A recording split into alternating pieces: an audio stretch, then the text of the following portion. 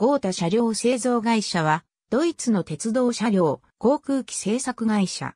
1893年7月に設立された。その名の通りチューリンゲン州ゴータにある。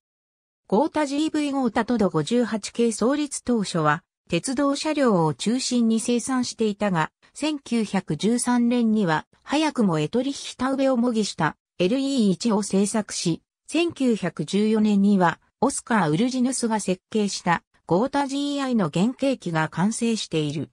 その後もこれらの大型爆撃機は G4、GV と進化を続けロンドン空襲に参加、ロンドン市民を恐怖に陥れている。終戦までのゴータの総生産機数は1215機。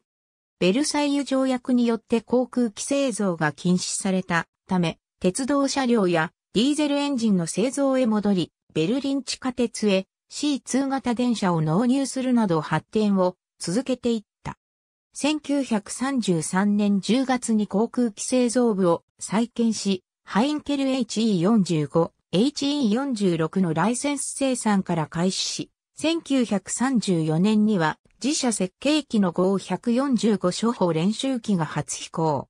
この機体は大成功で他社にも生産を依頼し、約1万機生産され、スペインとトルコではライセンス生産が行われている。